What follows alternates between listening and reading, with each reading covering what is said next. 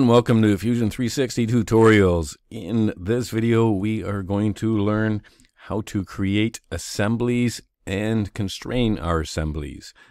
Just like when we are sketching profiles, we have to constrain our sketches, we have to constrain our parts in assemblies as well.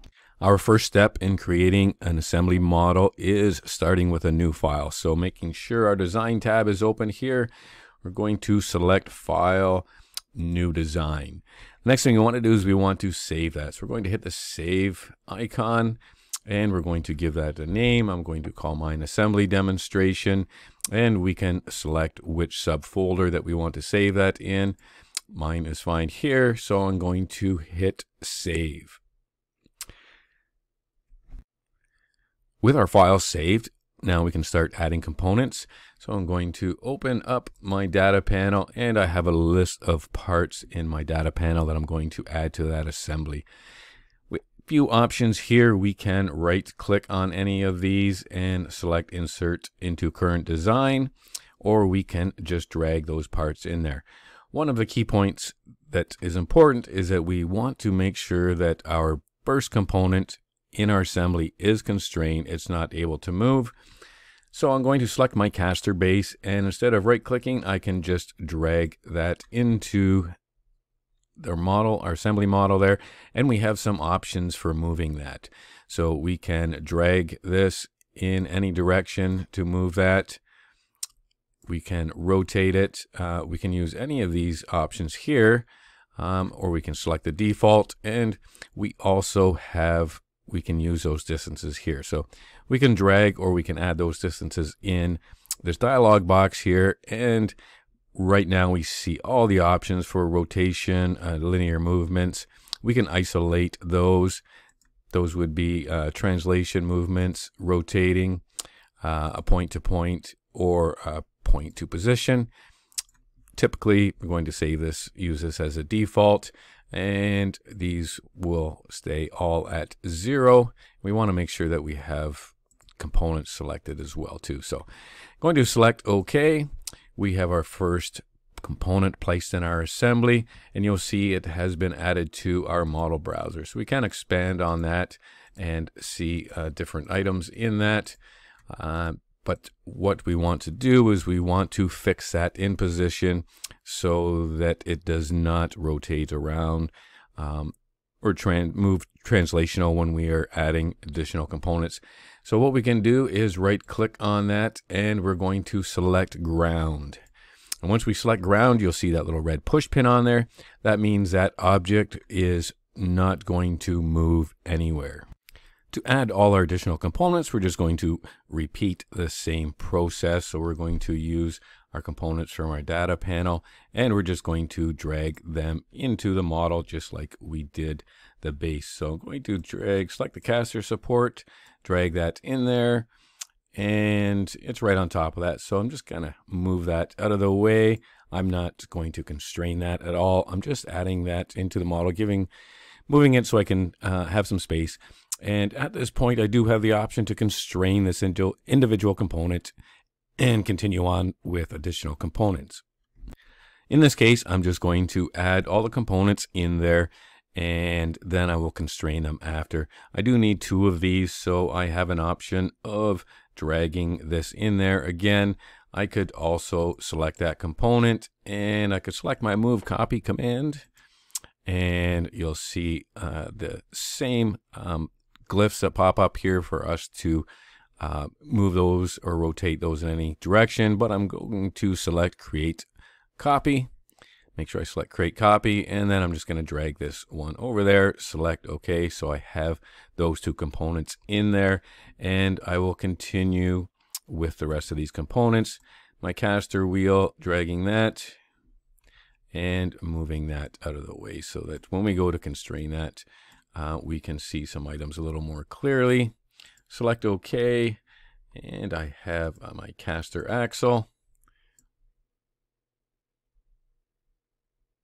Again, moving that just into space randomly so that we can constrain those and not have too much in the way.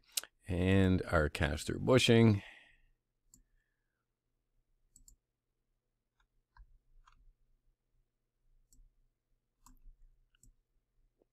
place that in there.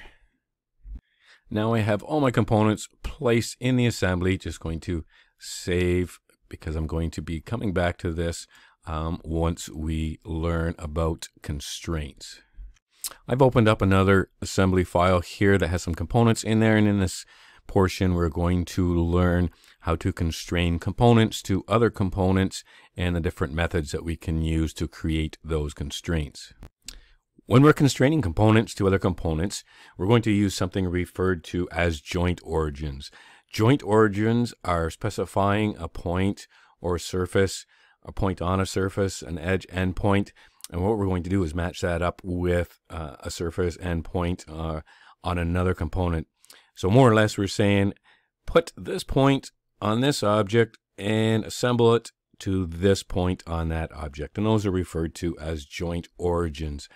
So if I go up to my assemble menu, my assemble tab, and I'm going to select joint, shortcut J, and now it is asking me to select which components that I want to constrain to each other or assemble to each other. In this case, it's actually allowing me to select this base object because I have unpinned that base part. So if this was pinned, this would not be an option, but for this demonstration, I have unpinned this. So what it's looking for now is it's looking for us to select something on this component. You'll see lots of uh, glyphs there, little nodes on there. And you'll also see that my surface, when I'm touching the surface, it's actually shading it just a little bit lighter, which tells me I'm using uh, the, the surface.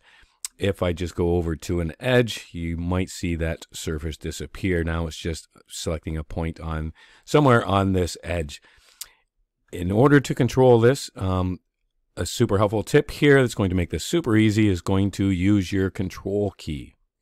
So when it's not grayed out, we are just selecting points along the edges. When the surface is grayed out, that means we're selecting a point that is on the surface and on that edge. So right now this is grayed out. If I want to maintain this using this surface, I'm going to hold my control key down and no matter where I go, it's going to use that surface. So this would be surface point, surface corner, uh, surface center. If I release that control key, I am now able to select just edge points. So edge corner, edge corner, it is not including that surface in the constraint. Likewise, if I hover over this edge and I hold the control key, it's just going to allow me to select any point on that edge. So endpoint, midpoint, corner point.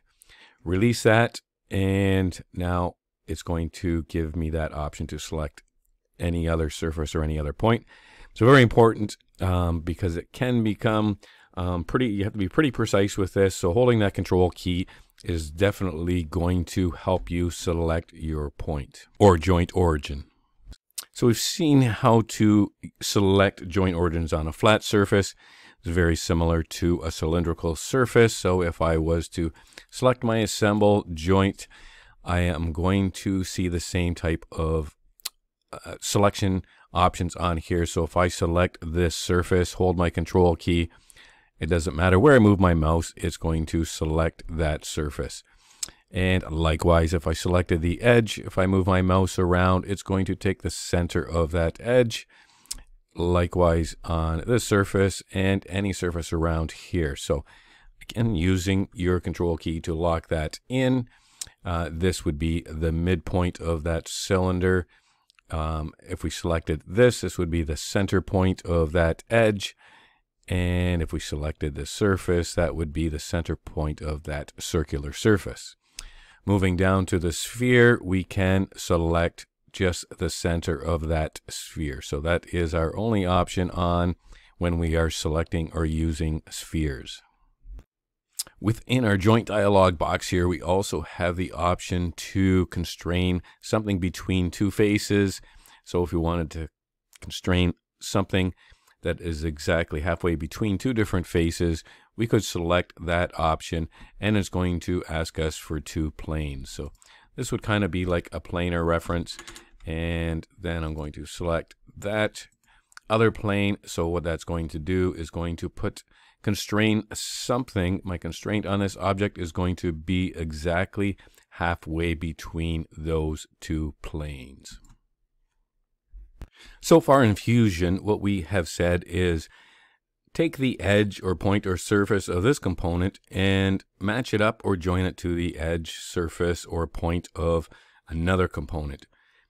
So we have fixed it kind of in place, but now we have to say, okay, yeah, these points or edges are touching or have to line up with each other, but are they allowed to move? And we're going to have to specify which way those objects are going to move because they've only been really fixed in one location so far.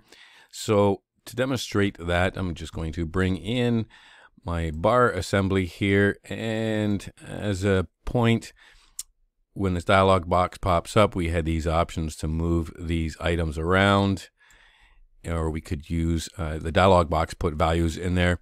We can place that anywhere. We can just select OK. And now we can just move these around freely, freely by left clicking on the left clicking and dragging on that object, just like any of these objects as well.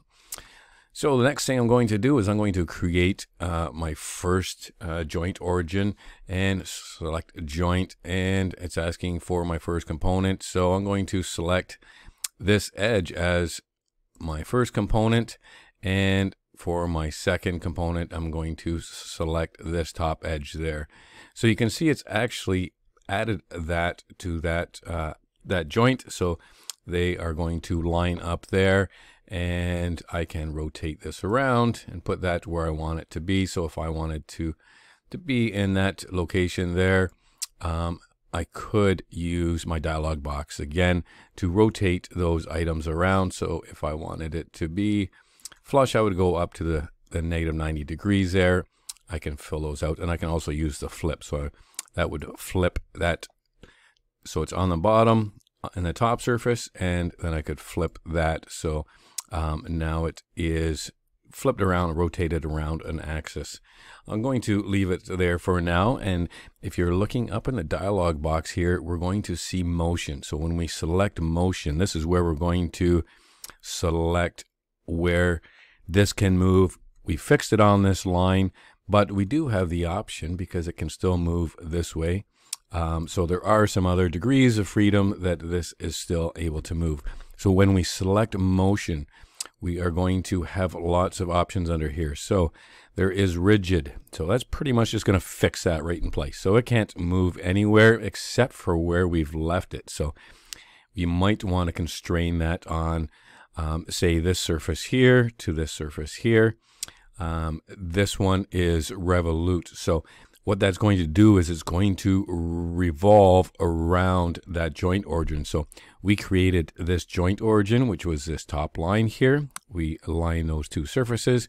So if we selected revolute and we hit play, just to demonstrate that, it is going to rotate around that joint origin that we created. So that tells us what our, our degrees of freedom are. And now we can select another option here. This is a slider. So the component is going to move along a single axis. So if we select a slider, it's going to demonstrate how it's going to move. So it's along that uh, joint origin again, it's going to slide up and down. So we can just hit play again, and that's going to demonstrate where we are allowing that to move. It's not a constraint. It's not saying it can move from here to there, but it's just going to demonstrate that this is the direction that this is allowed to move right now using my slider.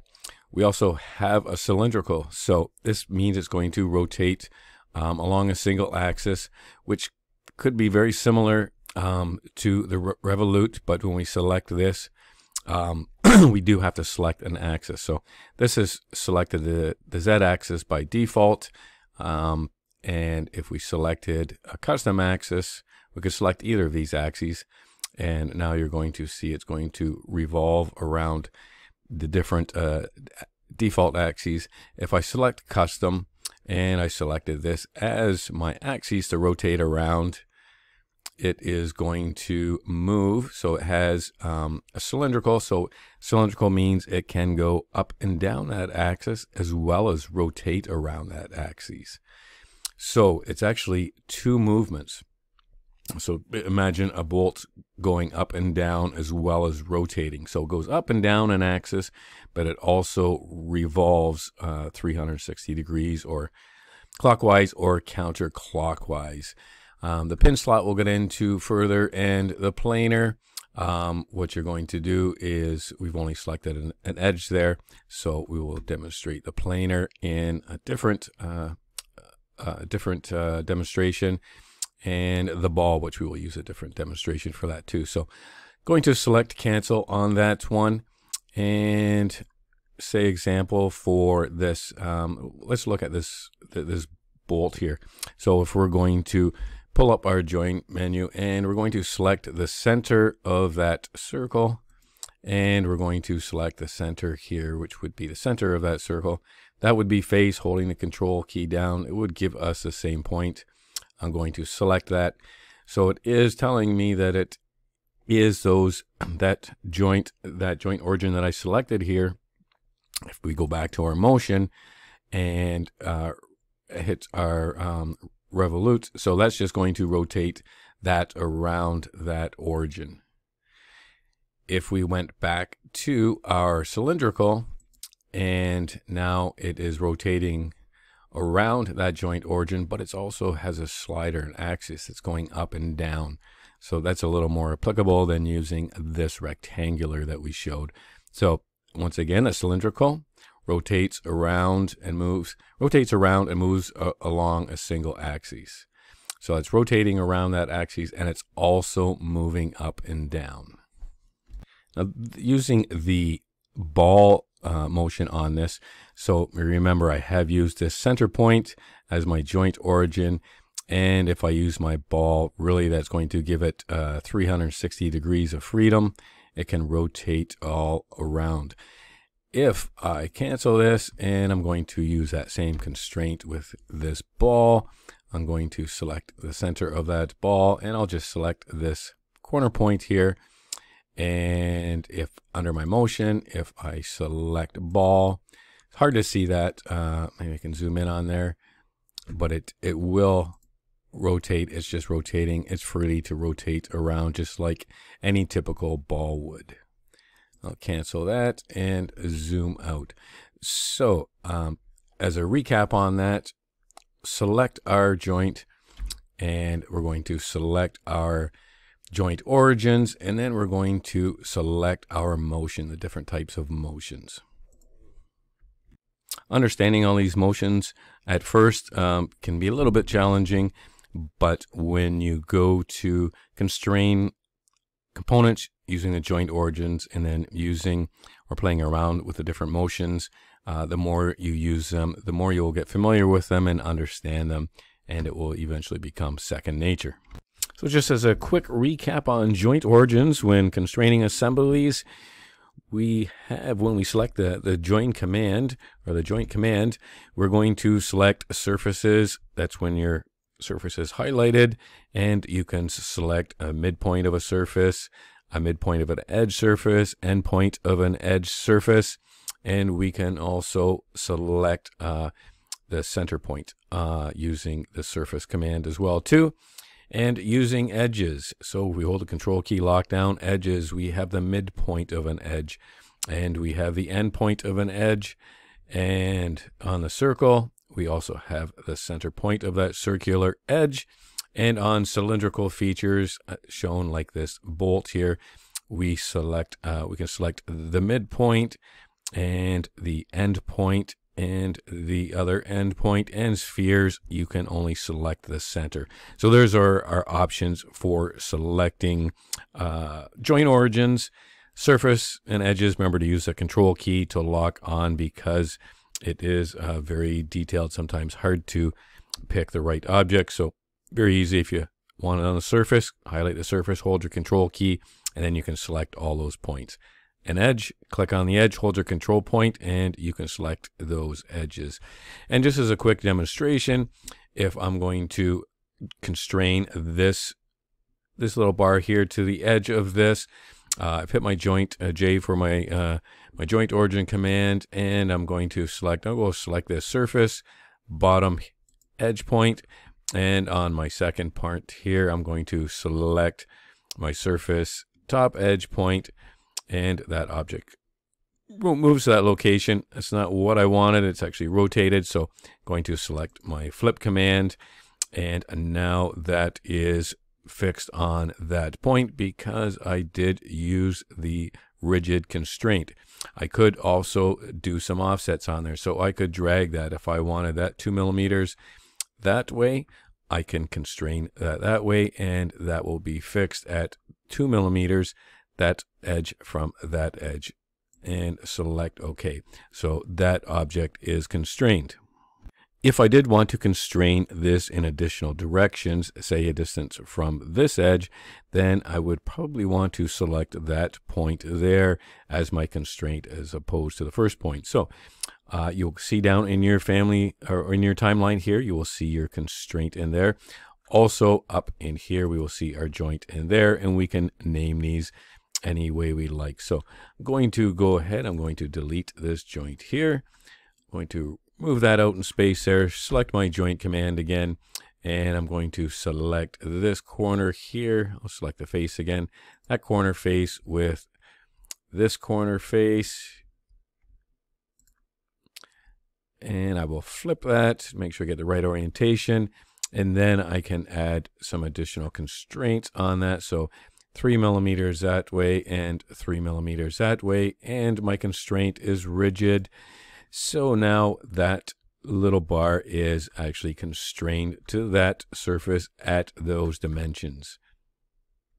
You will notice that it does show uh, little glyphs there of your constraints. Sometimes it's good to, if you want to hide those, if it gets pretty busy, you can actually turn these off there as well too. Um, sometimes you might want to clear them off.